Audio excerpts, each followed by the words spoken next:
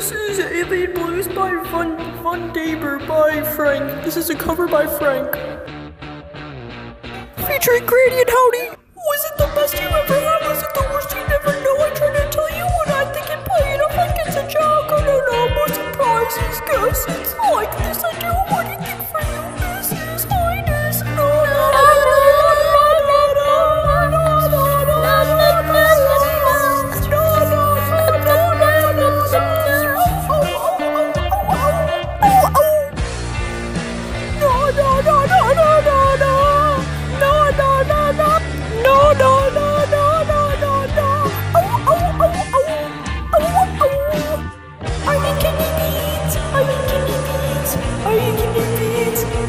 living